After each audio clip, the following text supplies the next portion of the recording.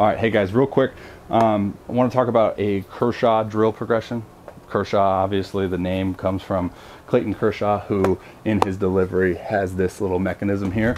There's two different components to what makes a Kershaw drill. And to highlight what the drill is, it's literally just mimicking Kershaw's delivery, but for two different components, like I said. Where is the direction of our drive phase? Is it towards our desired target or is it out and then around? Okay, like more of a crossfire. So we're just trying to highlight and maximize directional purposes for a Kershaw drill similar to this.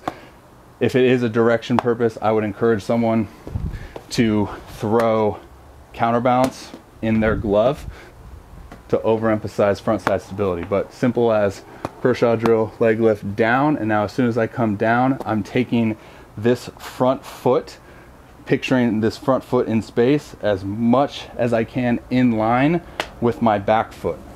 So I'm keeping a line. If you want to get even more fancy, you can do a dry progression of like a wall in front of you, coming down from your leg lift and not getting that foot to go off the wall. Again, we're not trying to change your delivery in this drill progression, but we are trying to highlight just how your direction is, okay? That's if that's a breakdown for you, we're trying to overemphasize your direction, okay?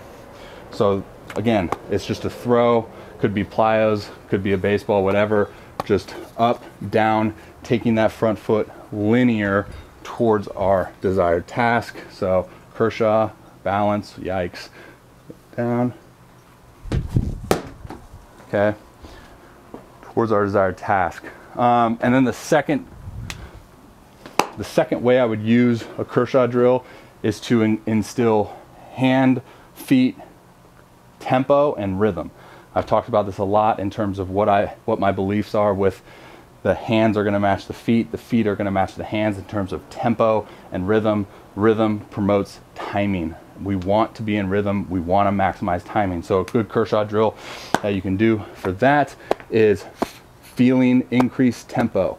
Your tempo could either be initiated from your hands going up and then your foot following, or your feet going up and then your hands following. For me, if you look at it in super slow motion, I'm just trying to go at the same exact time and I'm trying to instill that rhythm uh, or that pendulum, if you will, right? Like a layup. If you go up with your left, right goes up.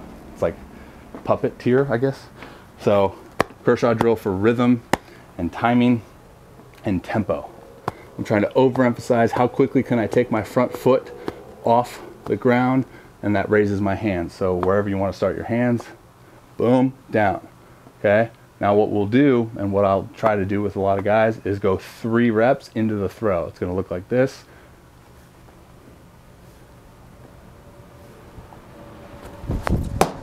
Okay. So get creative, play around with it. Obviously, we don't want you thinking about the tempo rhythm component and then also thinking about the directional component, right? Segment, be intentional, be smart, don't overload the brain, and hopefully that drill progression made sense, and hopefully you find use of it. Go get them.